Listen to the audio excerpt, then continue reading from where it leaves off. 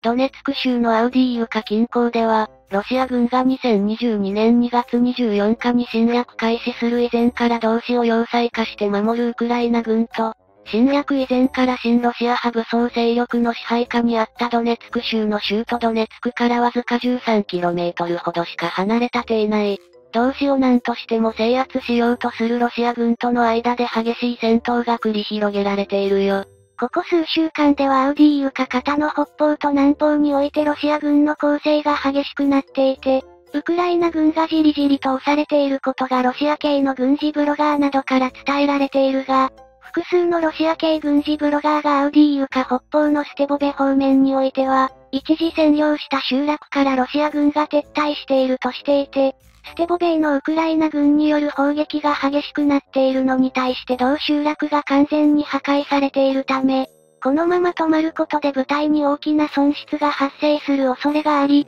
ステポベの東にあるアウディーユカから北西に走る鉄道の線路沿いまで後退させたと報告したぜ。さて今回はアウディーユカでの激戦について詳しく解説していくよ。それじゃあ行ってみよう。ゆっくりしていってね。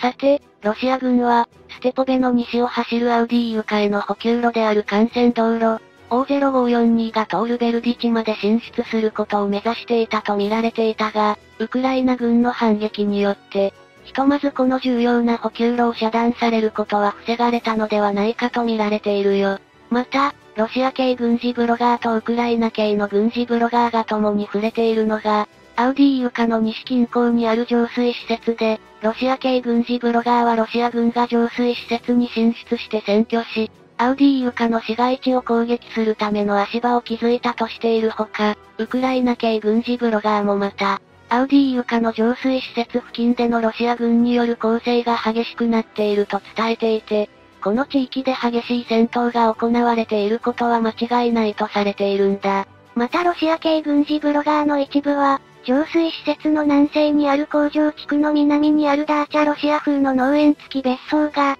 集まっているエリアをロシア軍が占領したと報じているが、これについてはダーチャのエリアを占領したとするにはまだ早い、としているブロガーがおり、さらには浄水施設の占領についても、足場を確保したとするだけの情報がないとして否定的な見解を述べたぜ。ロシアでは2024年に大統領選挙が実施される予定で、これにプーチン大統領が出馬すると見られているね。プーチン大統領はロシア国内においては80%もの高い支持率を持っており、もし対抗馬が出馬して選挙になったとしても、ほぼ間違いなくプーチン大統領が再選されると見られていて、その場合は2030年までロシア大統領として君臨することになり、ウクライナへの侵略はやまないと思われるよ。しかしほぼ無風の選挙とはいえ、ウクライナを侵略していることでアメリカをはじめとする西側諸国からロシアは厳しい制裁を受けており、その経済は大きな打撃を受けて疲弊しているばかりか、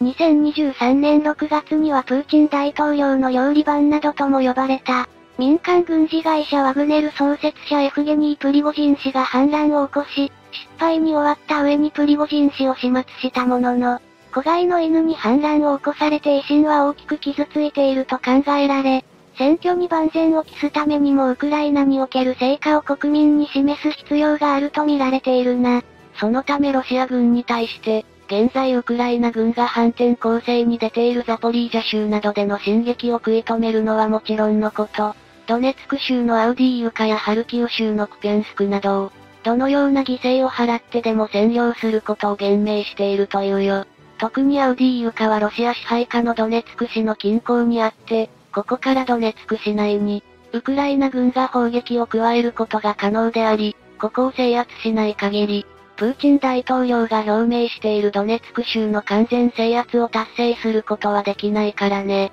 しかし、アウジーユカ周辺に展開しているロシア軍第二諸兵化連合軍やその他の部隊がアウディーユカ市街地に突入するには、要塞化された同士で最も脆弱とされる北面からの攻撃が望ましく、その攻撃開始地点に到達するためには、ウクライナ軍からのドローン攻撃や、榴弾砲などの下方の集中攻撃を受ける数キロメートルに及ぶキルゾーンを抜けていかなければならないぜ。これらの地域にはウクライナ軍中でも精鋭とされる百戦錬磨の第110独立機械化旅団や、西側製の主力戦車や装甲戦闘車両などのハイテク装備が配備されている第47独立機械化旅団をはじめとする、ウクライナ軍の盛況な6個旅団ほどが配置され展開しており、それらを第43独立砲兵旅団と第55独立砲兵旅団が強力な火力によって支援しているからな。キルゾーンにロシア軍部隊が到達すると、